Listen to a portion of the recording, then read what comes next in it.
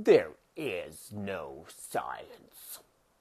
Well, except for the science. Science says that you will sleep 20 minutes longer if you take valerian, passion flower, and hops than if you take Ambien. Ambien increases death rates by five times, and 38 million prescriptions are filled. That would be over a million deaths from Ambien alone if they counted. But they probably list the cause of death as the C word.